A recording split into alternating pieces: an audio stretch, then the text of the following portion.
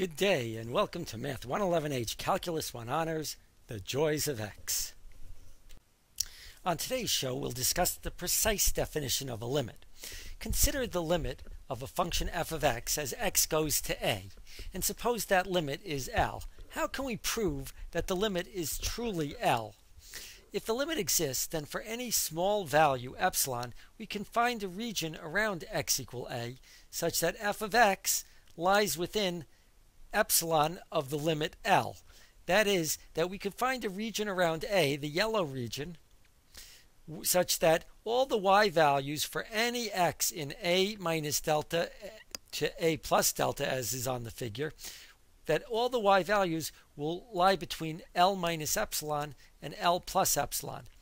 If the limit exists, then no matter what epsilon we pick, no matter how small our epsilon, we can find this a plus or minus delta region such that all the y values will lie within L minus epsilon and L plus epsilon. There's no y value in this region from a minus delta to a plus delta in x where the y value goes beyond this green region.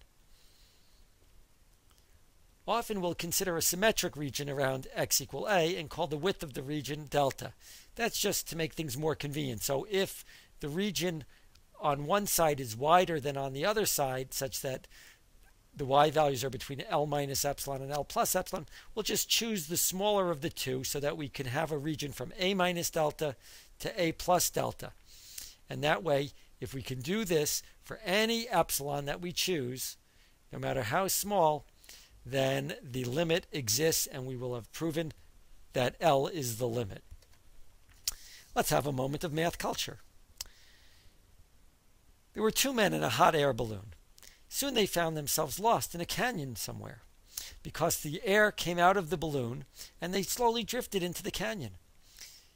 One of the men said, I've got an idea. Let's call out for help in this canyon, and the echo will carry our voices for a far distance, and maybe we can find somebody to help us. So, as they're folding up the balloon, he leans over the basket and yells out, Hello, where are we? And they hear the sound echo several times.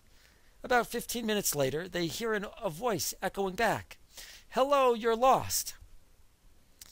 So the other man in the balloon says, You know, that was a mathematician who answered us. Puzzles, the first man says, uh, How do you know that? All he said were three words Hello, you're lost.